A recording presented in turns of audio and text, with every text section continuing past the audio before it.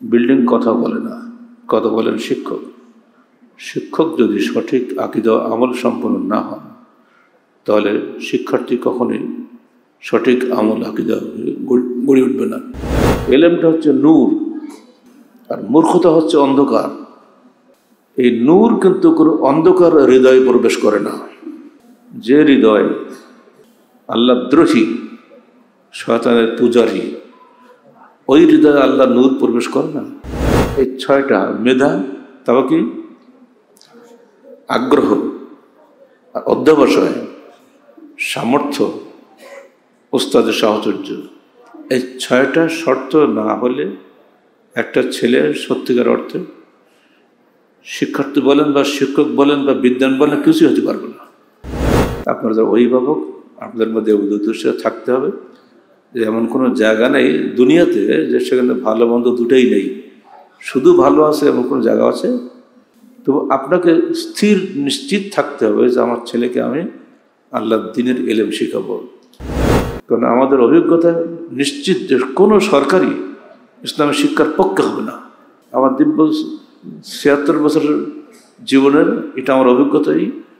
কোনো দিন কোনো সরকারি লেখাপড়া ইসলামের পক্ষে আসেনি। শিক্ষার্থীকে অবশ্যই তার লক্ষ্যে অবিচল থাকতে হবে। বাকিগুলো গৌণ মনে করতে হবে। তাহলে আপনার মধ্যে আল্লাহ বরকত দিবে। আহলেদিস আন্দোলন বাংলাদেশ। আসুন পবিত্র কুরআন ও সহি হাদিসের আলোকে জীবন গড়ি। বর্তমান যুগে কোনো সন্তান প্রতিষ্ঠানের দেওয়া ছাড়া তাকে শিক্ষিত করে গড়ে তোলার ফলে এখানে তিনটি সংস্থা একসঙ্গে কাজ করে। শিক্ষক, শিক্ষার্থী, অভিভাবক। অভিভাবক কেন বলছি? অনেকের ভাগ্যে পিতা মতো নেই। যেন আমরা এখানে এতিমখানা খুলেছি। কারোর বাপ নাই, কারোর বাপ মা একটাও নেই। তারা অভিভাবকহীন অবস্থায় যেন দুনিয়া থেকে বিদায় না হয়, লেখাপড়ার আলো থেকে বঞ্চিত না হয়। সেজন্য আমরা এই প্রতিষ্ঠান গড়ে তুলেছি। তাদের এমন এমন কিছু ছেলেকেও আমরা দেখেছি, ঈদুল ফিতর, ঈদুল আজহার মতো অনুষ্ঠানেও বাড়ি যায় না। তাদেরকে আমি নিজেও বলেছি, বাবা, তোমার বাড়ি যাবে না কেন? বলে আমরা এখানেই ভালো আছি। যদি এই প্রতিষ্ঠান গড়ি না অর্থ, তাহলে এই ছেলেগুলো লেখাপড়া করার সুযোগ পাইত না। আমরা এখানে তাদের অভিভাবক। কিন্তু অভিভাবক তো কাজ করে না। অভিভাবক ব্যবস্থা করে। কাজ করে মূলত শিক্ষক। বিল্ডিং কথা বলে না, কথা বলেন শিক্ষক। শিক্ষক যদি সঠিক আকিদা আমল সম্পন্ন না হন, তাহলে শিক্ষার্থী কখনোই সঠিক আমল আকিদা গড়ে উঠবে না। সেজন্য শিক্ষককেও সঠিক আকিদা আমল সম্পন্ন হতে হবে। এইবার প্রতিষ্ঠান। প্রতিষ্ঠান যদি নিরাপদ না হয়, শিক্ষার অনুকূলে পরিবেশ যদি তৈরি করতে ব্যর্থ হয়, তাহলে শিক্ষকও কোনো কাজ করতে পারবে না। তিনটা কো রিলেটেড অঙ্গাঙ্গিভাবে জড়িত।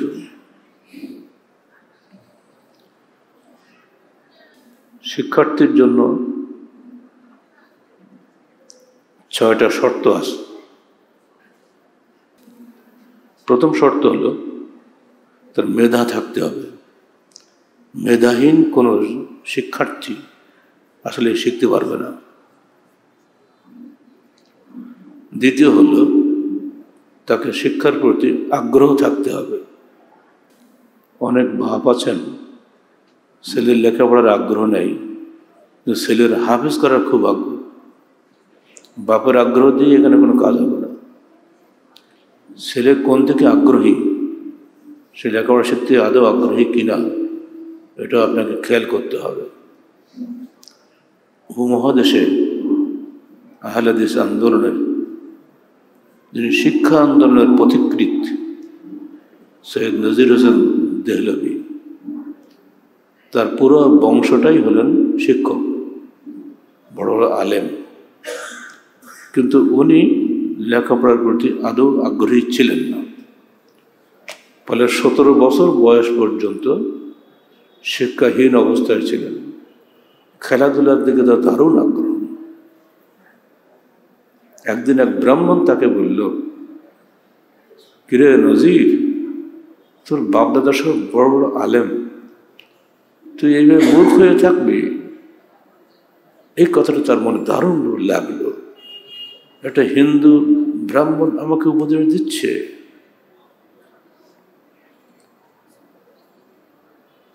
অল্প কিছু পয়সা নিয়ে কাউকে কিচ্ছু না বলে রাতের অন্ধকারে দিল্লি চলে গেল।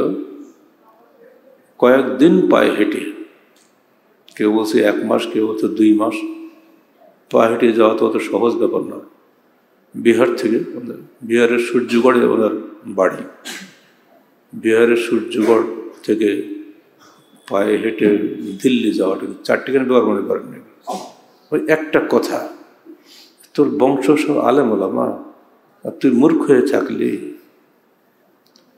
কখন কার কথা যে অন্তর দাগ কাটবে তো মানুষ বলতে পারে না। এটা হলো আল্লাহ তৌফিক।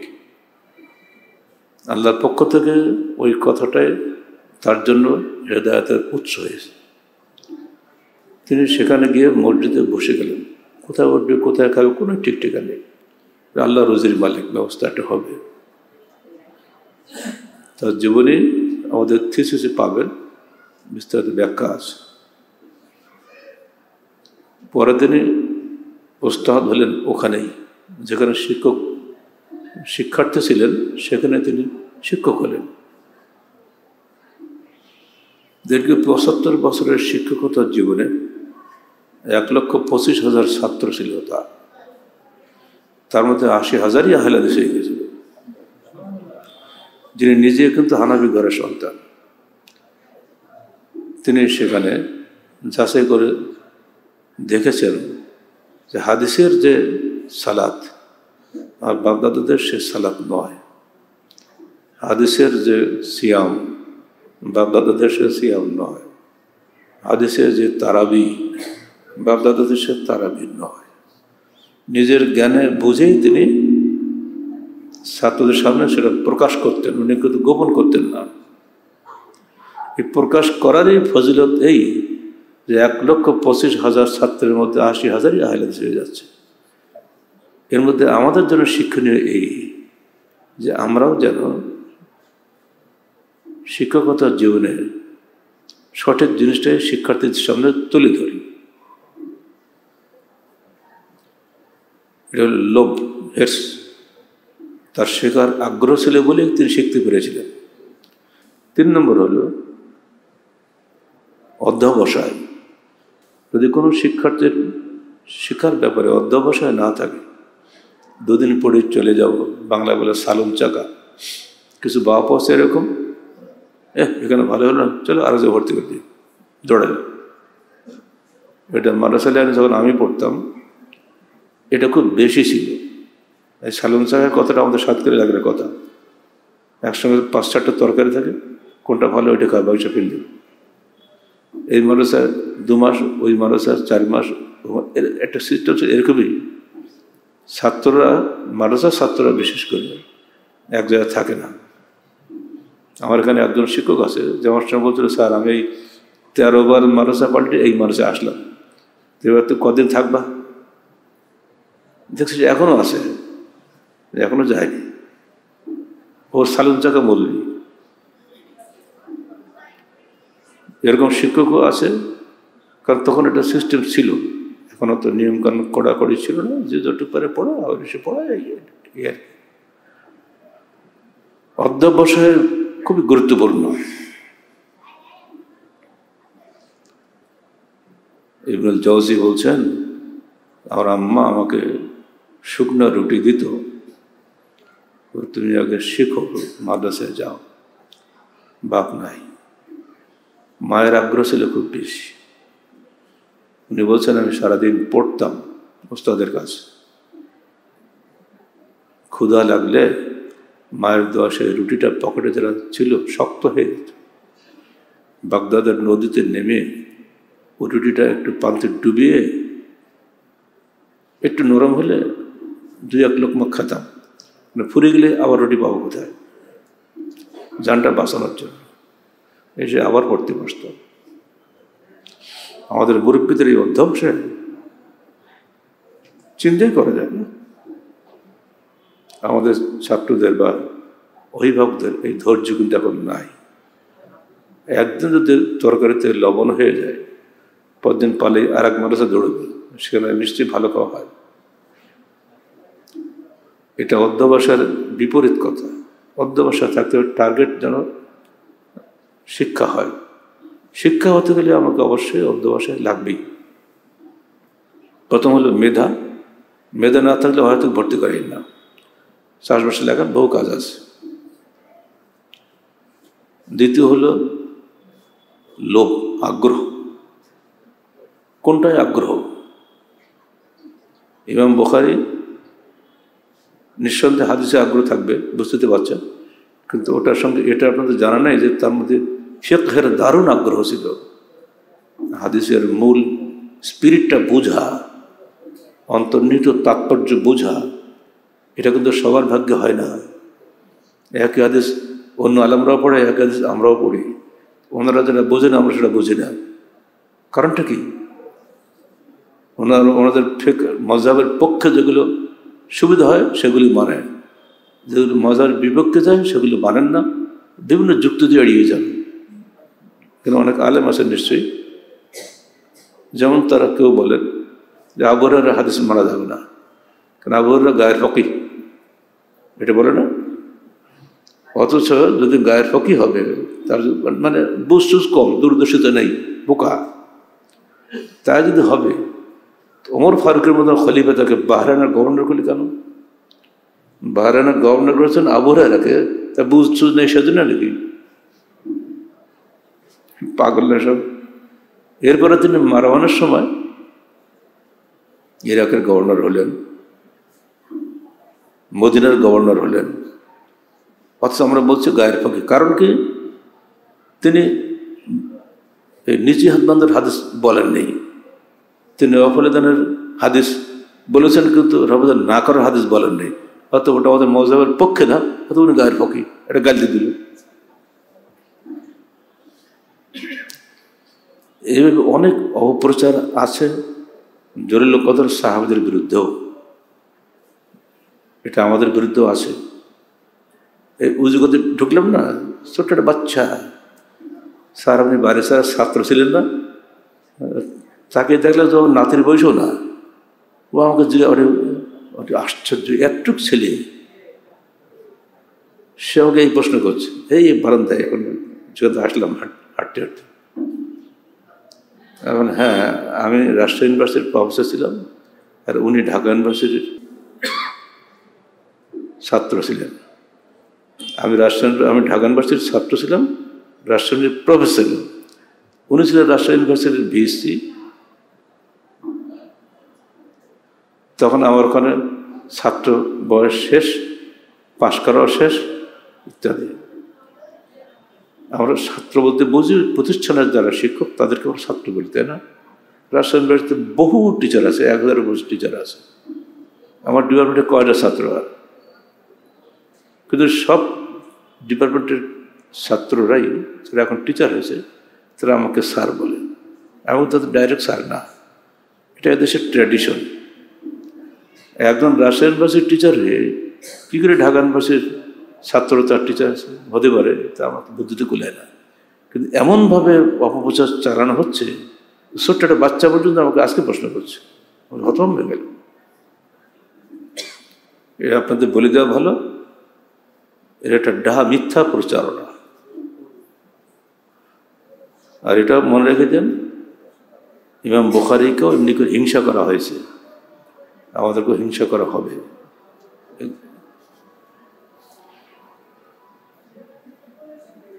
মেধা ছিল ওনার হাদিসের দিকে। যদিও উনি ফেকার দিক দিয়েও খুবই বড় মাপের মানুষ ছিলেন এই জন্য একটা প্রবাদ আছে। শেখ হল বুখারি তারা যেমন আবু আবিহি বুখারিকে যদি চিনতে চাও, তার ওই বাপগুলো পড়ো অধ্যায় রচনা, অনুচ্ছেদ রচনা। এটা পড়ে বুঝব যে বোখারি কতটা ফকি ছিলেন এখানে মহাদ্দাস ছিলেন না, অত্যন্ত উচ্চ মর্যাদার ফকি ছিলেন। সেদিন হাদিসের দশ দিলাম না কেন? কদিন আগে হার কবেজন দিলাম? দর হাজার দশ দিলাম না? সে ওটাই বলেছিলাম। আট তারিখে।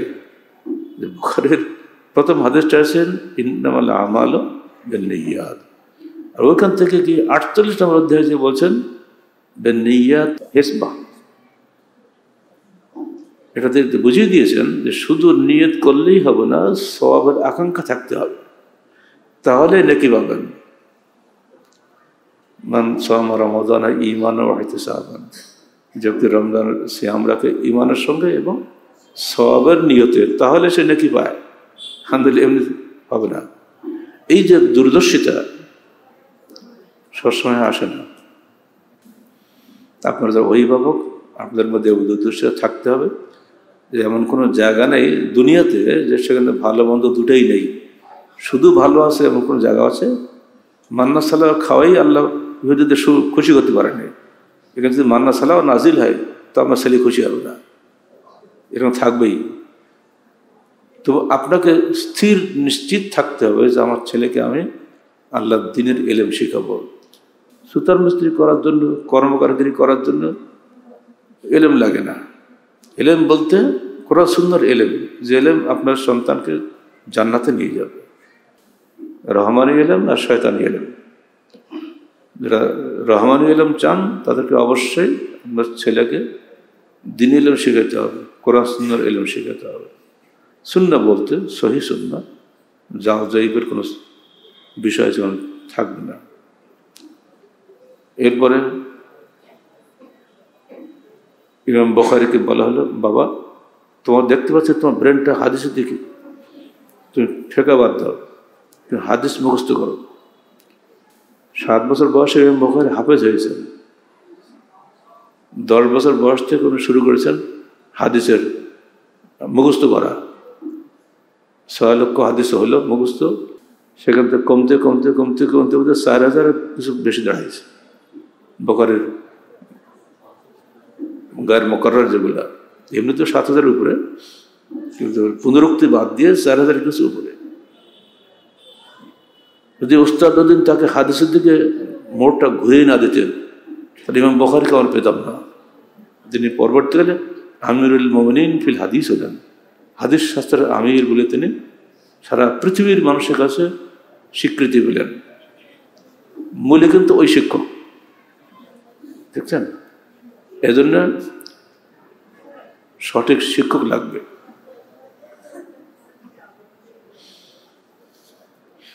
আরেকটা হলো বলগা সামর্থ্য। এতদিন টিকে থাকতে গেলে আপনার সন্তানের বাকি যেগুলো বিষয় থাকে, একটা মানুষের বাঁচতে গেলে খানা, পিনা ইত্যাদি পোশাক পরিচিত অনেক কিছু থাকে না। যদি এগুলো নজরুল দরিবের কিন্তু কিছুই ছিল না। আল্লাহর পক্ষ থেকে তার ব্যবস্থা করা হয়ে গেছিল। মানুষ যেন সেটা না খেয়ে থাকে, দেখি আমি একটু আমার আব্বা যেমন ওইরকম গেছেন। পালিয়ে চলে গেলেন রাত্রে একটা স্যারে নেই এক খবর নেই। আমার আব্বার অবস্থা ঠিক ওরকমই। সতেরো আঠারো বছর বয়সে বিয়ে আসছে ওটা কানে কানে বলছে, আরে বিয়ে দেবো কি? ও তো লেখাপড়া জানে না। এই কথাটা আমার দাদা যে দাদিকে বলছে দেখছ তোমার ছেলে যে আদরকে পাশে রাখো বাইরে যেতে দাও না। আর শোনো, বিয়ে দিতে লোক মেয়ে দিচ্ছে, আসে না। এইটা বাইর থেকে আমার আব্বা শুনতে পেয়েছে। পালালো রাত্রে। ঠিক নজরুদ্দৌলের ঠিক ঘটনাটা আমার আব্বা জীবনে করছে চলে গেলে কলকাতা কোথাও থাকবে থাকবে কিছুই জানে কণ্ঠ ছিল খুব দারুণ। আজান দিল। আজান শুনে তেরো বাড়ি লজিক সবাই বলে আমার বাড়ি থাকবে তোমার তো মাইকের যুগ নয় আজানের মহব্বতে তেরো বাড়িতে দাওয়াত, ওস্তাদ আয়ুব বিহারি বলল আহমদ আলী, তোমার তো সবাই লজিং ডাকবে, আমি কোন জায়গায় দিব? সবার বাড়িতে খুশি করতে গিয়ে তেরো বাড়িতে লজিং হলো যে বাড়িতে আব্বা যেতেন, সবাই বাতাস দিত। তো একদিন আদর করে বলছে আহমদ আলী, তুমি আজকে কী খেলে? তো সাথী একদিন বলছে, আহমদ আলী খানা নেই খাতা হাওয়া খাতা হাওয়া খায়, খানা খায় না। এর ব্যাখ্যা কি? ওস্তাদ বলছে, এর এর ব্যাখ্যা কি? হাওয়া কি এমন বাসায় তাহলে ওস্তাদজি, কি বলব? ওকে মানুষ এত ভালোবাসে। ও লজিং ম্যান মহিলা তো না, পুরুষ লোক, বাড়ির যিনি মালিক। ও খেতে বললে পাখা বাতাস করে। এই তেরো বাড়ি আমরা টেস্ট করে দেখেছি, ওকে এত আদর করে যে গেলেই বাতাস করা শুরু করে। এই জন্য বললাম, হাওয়া খাতায় কথা বলছেন। এর মধ্যে শিক্ষার্থীদের জন্য অনেক শিক্ষণীয় আছে। শিক্ষার্থীকে অবশ্যই তার লক্ষ্যে অবিচল থাকতে হবে। বাকিগুলো গৌণ মনে করতে হবে। তাহলে আপনার মধ্যে আল্লাহ বরকত দিবে। একটা গুণ তো দিয়েছে, তখন তো উনি আজানটা ভালো দিতে পারতেন। কণ্ঠ ভালো ছিল? কণ্ঠ তো আব্বা বা আম্মার দেওয়া দান নয়, এটা আল্লাহ দেওয়া দান। এটার মাধ্যমেই তার রোজের ব্যবস্থা আল্লাহ করে দিয়েছে। সে একদিনে এক করে কামেল পর্যন্ত আব্বা দেশে ফেরেনি শেষে একদিন পরিচিত লোকের সঙ্গে দেখা হয়েছে তোর মা তো মৃত্যু সজ্জায় শুনি তো মনটা খারাপ হয়ে গেছে। তখন বাড়ি আসছে। একবার নিচে ক্লাস থেকে কামেল পর্যন্ত এক টানা টিকে থাকতে গেলে যে মানসিক দৃঢ়তা লাগে অফিসের লক্ষ্য লাগে। এর মধ্যে অনেক কিছু শেখার আছে না? আব্বার কথা বলা তো ঠিক না। ছেলে তো বাবার প্রশংসা করবি তাই না? কিন্তু এর মধ্যে শিক্ষণীয় আছে বলেই বললাম। মেয়া নজরুল দলিব রহমতুল্লাহের যে চরিত্র, যে ঘটনা, ঠিক আমার আব্বার একই ঘটনা। উনি বুঝলেন জাতির পরিবর্তন করা সম্ভব, রাজনীতির মাধ্যমে নয়, শিক্ষার মাধ্যমে। সেই সময় পঞ্চান্নটা মাদ্রাসা করেছেন উনি। পঞ্চান্নটা মসজিদ করেছেন, এগারোটা মাদ্রাসা করেছেন। আর সর্বশেষ যে মাদ্রাসা কাকডা সিনিয়র মাদ্রাসা, ওখানে আমি লেখাপড়া শিখেছি। এখন সরকারি আলিয়া হয়ে রুহ হারিয়ে গেছে, কাঠামোটা পড়ে আছে। সমস্ত আলিয়ার যে দুর্দশা। সেখানে একই দুর্দশা, রুহ নাই। বিল্ডিং হয়েছে, বিল্ডিং থেকে কী হবে? বিল্ডিং তিনি প্রথম করে দেন, সাতক্ষীরার পৌরসভার চেয়ারম্যান তৎকালীন আহলিদিস খুব টাকাওয়ালা। তো সেই সময় আব্বার সঙ্গে আমি গিয়েছি, তখন আমি তরুণ বক্তা। খদবা দিয়ে আমি বলে ফেলেছি, এক লক্ষ টাকা চুরি করে দশ হাজার টাকা দান করে কোনো ক্রেডিট নাই। যার মসজিদে খোদবা দিচ্ছি উনি আগে ছিলেন রাখাল। রাখাল বোঝেন তো? গরু ছাগল পালে সেইখান থেকে সাতক্ষীরা শ্রেষ্ঠ ধনী। আয়ুব খান তাকে এম এন এ করল। লেখাপড়া ডিগ্রি কিছু লাগে না। আয়ুব খান আইন করেছিল ইন্টারমিডিয়েট পাস না হলে কাউকে এমপি বে এ হওয়া যাবে না। সে যশোর বোর্ড থেকে ঘুষ ঘাস দিয়ে এম আইয়ের ডিগ্রি নিয়ে ওকে দিছে একেবারে এ বানিয়ে ন্যাশনাল অ্যাসেম্বলি ঢাকা না একই ইসলামাবাদ তন্ত্র রালপেন্ডি ছিল। তাই আমার খুব ভেতরে স্ট্রাইক করলে বেটা ছিল রাখা। ও এখন হয়েছে এমপি তারপর পৌরসভার চেয়ারম্যান এত টাকা, কোটি মানে টাকার হিসাব নেই। পরে এসে খেতে বসছে যখন, তখন আব্বাকে বলছে যে, ছেলে, এখনই যা বলা শুরু করল পরবর্তীকালে তো কাউরই তর্ক করবে না। তো আব্বা বলছে, আব্দুল গফুর তোমার কাছে যা আছে, হাতে পড়ে গেলে হারিয়ে যাবে। বিদ্যুৎ ভরার টাকা। আর আমাদের কাছে যা আছে, মৃত্যুর আগ পর্যন্ত কেউ ছিনিয়ে নিতে পারবে না। কথাটা কিন্তু বলে দেয় না। আপনার ছেলে ভেতরটা রুহানি খোরাক যদি পায় এখানে, এটাই সবচেয়ে বড় পাওয়া হবে। এর সঙ্গে ছয় নম্বর শর্ত হলো সোহবত ওস্তাদ। যে ছেলে ওস্তাদের সাহচর্য পায় না, অর্থাৎ ভালো ওস্তাদের, সে ছেলে বইপত্র যতই পাকা হোক না কেন, সে কখনোই ভালো শিক্ষার্থী হতে পারবে না। এই ছয়টা জিনিস যাতে একসঙ্গে পায়, সেজন্য আমরা এই মার্কাস গঠন করেছি এবং এর আলোকে এখন শতাধিক প্রতিষ্ঠান আমাদের হাত দিয়ে হয়ে গেছে। আব্বার হয়েছিল এগারোটা, আমার হাত দিয়ে পর্যন্ত একশো দশটা হয়েছে। এবং আরও হবে, আশা করি, যদি আল্লাহ হায়াতে রাখে। কারণ এরা ইয়ং ম্যানেরা আসতে দায়িত্বে, ওরা যদি করতে পারে, তো আরও হবে। কিন্তু ধারণাটা কিন্তু আমার এটাই ছিল। এই ছয়টা মেধা তাও কি আগ্রহ আর অধ্যবসায়, সামর্থ্য ওস্তাদের সাহচর্য।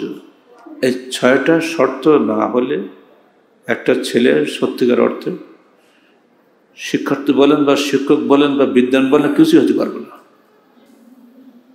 এগুলি আপনাদের মাথায় রাখতে হবে।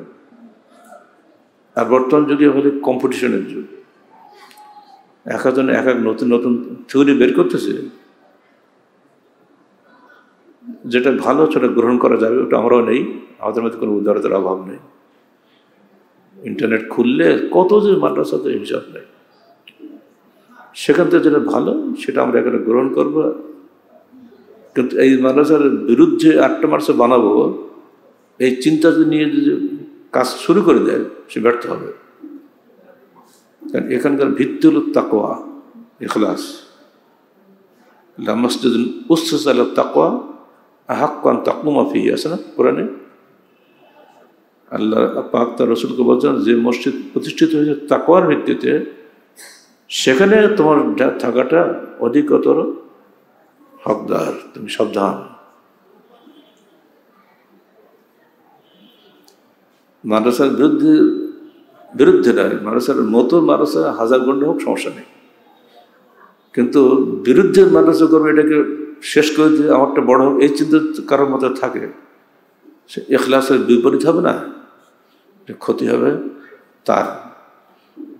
আমি আপনাদের জানিয়ে দিচ্ছি যেহেতু মাদ্রাসার প্রতিষ্ঠাতা, আমি এখলাসের সঙ্গে আমরা প্রতিষ্ঠা করেছিলাম। কোনো রকম দুশ্চিন্তা আমাদের মধ্যে ছিল না। কারোর ঠেকাবো, হটাবো, এই চিন্তা আমাদের ব্রেনে কখনোই ছিল না। আজও নাই, আগামী দিন ইনশাল্লাহ আমার পরবর্তী দিনও থাকবে না, এটা আমার ওসিয়াত থাকলেও কোনো রকম হিংসা নিয়ে কোনো কাজকে করো না। পজিটিভ আন্দোলন করে যাও, নেগেটিভ নয়। যে জন্যে আহলাদিস আন্দোলনের শুরু থেকে এই পর্যন্ত কাজ করে যাচ্ছে। নেগেটিভ বহু কিছু এসছে, আমরা কোনো জবাব দেয় নেই। কোনো দিন কোনো ফালতু প্রশ্নের উত্তর আমরা দেই না। আজকে মরে গেছে আমাদের ছাত্র আমিনুল, ও গেছিল এক সাংগঠনিক প্রোগ্রামে চাবে নবাবগঞ্জের চাত্রা মাদ্রাসায়। তো ওকে তখন তো দারুণ, আমার মধ্যে বলতে পারেন, প্লাবনের মতো গিবত চলছে। চারিদিকে গিবত আর গিবত। তো ওকে প্রশ্ন করেছে, আপনি তো স্যারের সঙ্গে থাকেন? তো এইসব প্রশ্নের উত্তর কি? তো বলছে, দাওয়াত দিয়েই শেষ করতে পারি না। এসব জবাব দেওয়ার সময় কোথায়? চলে গেছে সে দুনিয়া থেকে, কিন্তু কথাগুলো ভোলার মতো নয়। কথা বলছেন। তখনও হিংসুক ছিল, আজও হিংসুক আছে, থাকবে। হিংসুক না থাকলে কাজ করা যায় না। হিংসুকদের পক্ষে একটা কল্যাণ নেই যে তারা আমাদের ভুলটা ধরেই দেয়। উপকার হলো না? ভুলটা সংগ্রহ করলে ঝামেলা শেষ? তো আপনাদের সন্তানদের পালনের স্বার্থে মার্কাজ গঠন করা হয়েছে। আমাদের স্বপ্ন এখনও পূরণ হয়নি। বাধ্য এখন আমাদেরকে আলাদা বিল্ডিং ভাড়া করতে হচ্ছে। এটা একদিক দিয়ে ভালো, এই মার্কাজের স্বার্থে আশপাশে সব বিল্ডিং হয়েছে। আগে কিন্তু কোনো বিল্ডিং ছিল না। আমরা করতে পারিনি, এটা আমাদের আর্থিক সঙ্গতি নাই সেজন্য। আপনাদের মধ্যেও অনেক ধনীশীলী আছেন, ধনী আত্মীয় স্বজন আছেন, এখন তো কোটি টাকার মানুষের অভাব নাই, কিন্তু আমার ভাই নেই যায় আর শুধু উদ্দেশ্যটা বলে গেলাম, যদি আপনাদের মনে হয় আল্লাহ যদি কবুল করে এই বিল্ডিং চারিপাশে এখন একটা শৌচালয় দেখছেন? এরকম যদি চারিপাশে শৌচালয় ঘিরে দেওয়া যায়, মাটিতে কিনেছি আমরা তো আমরা বেশি ছাত্র জায়গা দিতে পারব না? খেয়াল রাখবেন। যেন আমরা এটা করতে পারি। এরপরেও যদি আরও দরকার হয়, আমরা এখান থেকে সাড়ে বারো কিলোমিটার দূরে গিয়ে তিনশো তেরো বিঘা মাটি কেনার একটা বিরাট স্বপ্ন দেখেছি। দু বছর আগে ইসলামে ঘোষণা দিয়েছিলাম। ইতিমধ্যে প্রায় বিশ বিঘা জমি কেনা হয়ে গেছে। ফ্রন্ট সাইডে ভিতরে আস্তে আস্তে যতদূর যাওয়া যায়, তো ওখানে মাটি আছে, এটি হলো বড় কথা। এমনি দু পাঁচ বিঘা মাটিতে সব জায়গায় পাওয়া যায়। তো তিনশো তেরো বিঘা যদি পাঁচশো বিঘা জমি কিনি তা ওখানে কেনা যাবে।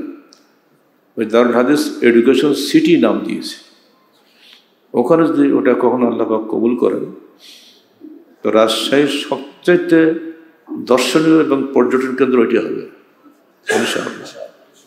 যদি সেখানে আমাদের ইয়ং ছেলেরা কাজ করে যদি এখলাসের সঙ্গে কাজ করে মানুষ আসবে আমি আপনাদের সবাইকে এই শেষের দাওয়াতটা দিলাম অভিভাবকদের কাছে।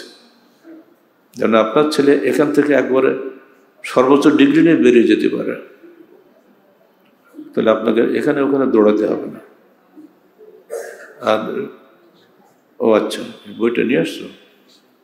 এটা আপনারা প্রত্যেকেই একটা, দুটা, চারটা, যা পারেন নিয়ে যাবেন। এভাবে মানুষের মধ্যে বিতরণ করবেন। তাহলে তারাও বুঝবে আমাদের কি করণীয়।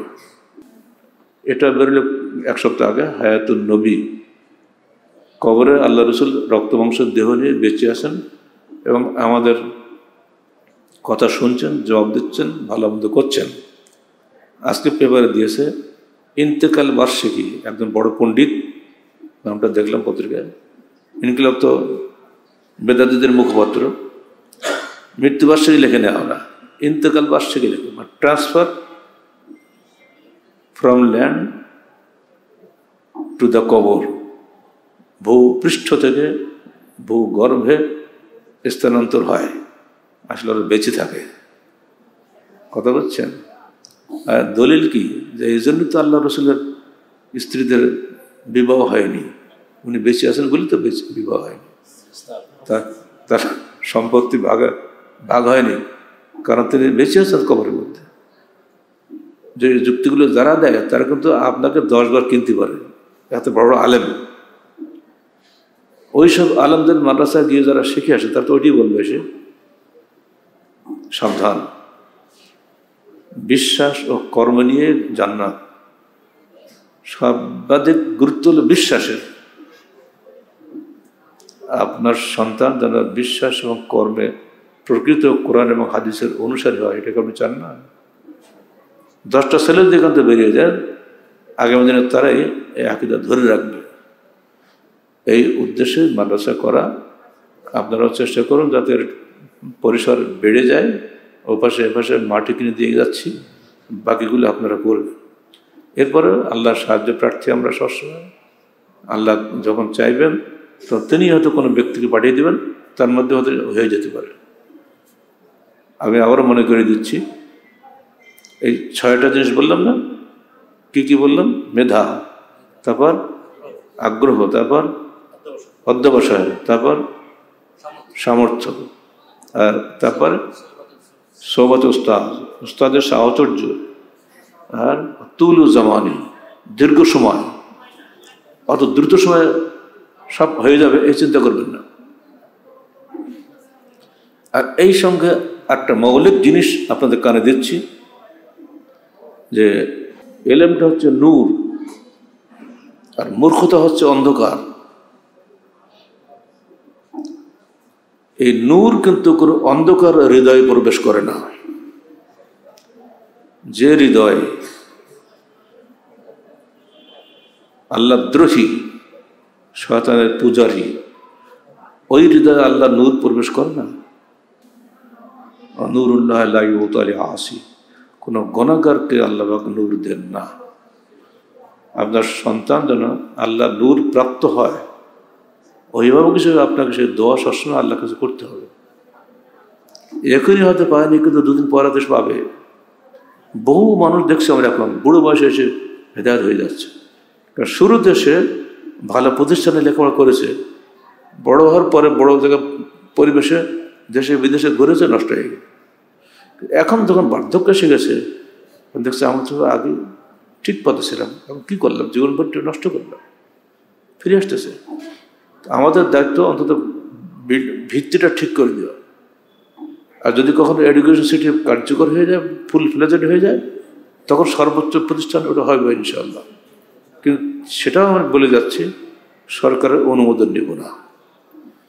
কারণ আমাদের অভিজ্ঞতা নিশ্চিত যে কোনো সরকারি ইসলামী শিক্ষার পক্ষে হবে না। কোনো সরকারি লেখাপড়া ইসলামী শিক্ষার পক্ষে হবে না। আমার দিব্য ছিয়াত্তর বছরের জীবনের, এটা আমার অভিজ্ঞতাই।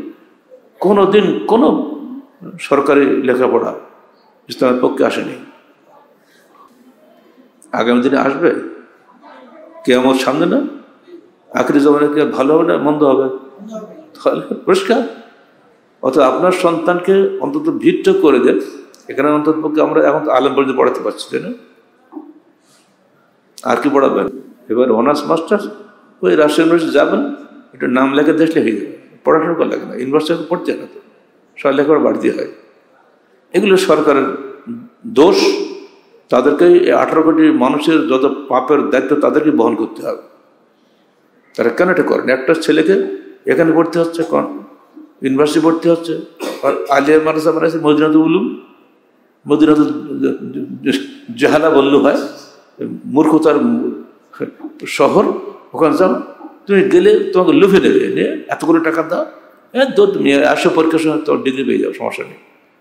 শুধু পরীক্ষা হলে হাজিরা দিলে হয়ে যায় এই যে খেলা চলছে আলিয়া মাদ্রাসা আর ইউনিভার্সিটি, এগুলো ডিগ্রি বিতরণী কেন্দ্র। শিক্ষা বিতরণী নয়। শিক্ষার জন্য আপনাকে এখানে আসতে হবে। যেন আল্লাহবাক এটা যে কবুল করেন, যেন এখানে আসতে হয় যে বলছি, যেন সেরকম পরিবেশ আল্লাহ ভবিষ্যতে রাখেন। সেজন্য কিন্তু বলছি। আল্লাহ তাকবাল সাইলা জহুদানা কবুলিন হাসান। আল্লাহ আমাদের এই প্রচেষ্টাকে সুন্দরভাবে কবুল করো এবং আমাদের অভিভাবকদের জন্য একটা সান্ত্বনার স্থল হিসেবে তুমি এটাকে গ্রহণ করো। আমি নকুল কৌলি হাজা আস্তাকুল আলী ওয়ালাকুম আলী সাহেব মুসলিমিন।